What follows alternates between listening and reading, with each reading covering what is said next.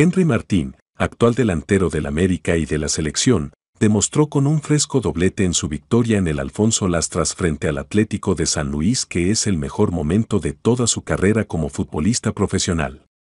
También se sumó al top 10 con mayor puntuación en la historia de las Guilas con sus dos puntuaciones.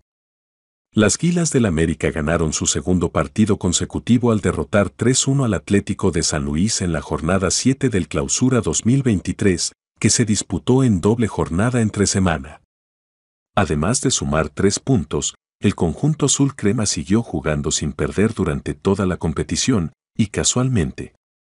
La bomba llegó al partido contra la escuadra de San Luis Potosí como el undécimo máximo goleador del América con 75 goles, uno menos que su compatriota Gonzalo Farfán, 76, sin embargo, fue capaz de superar el total del exdelantero azul crema, y con 77 goles logró adueñarse en solitario del décimo puesto en la lista de máximos goleadores del club.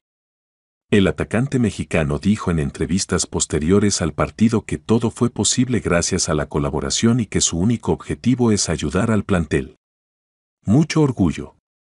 No me presiono tratando de llegar a nadie, solo trabajo y si es bueno y si no, no pasa nada. Lo importante es disfrutar, Creo que eso es lo que ha hecho que las cosas salgan de la mejor manera y si Marco no es solo por mí, también es por el equipo que si no fuera por ellos no lograría nada.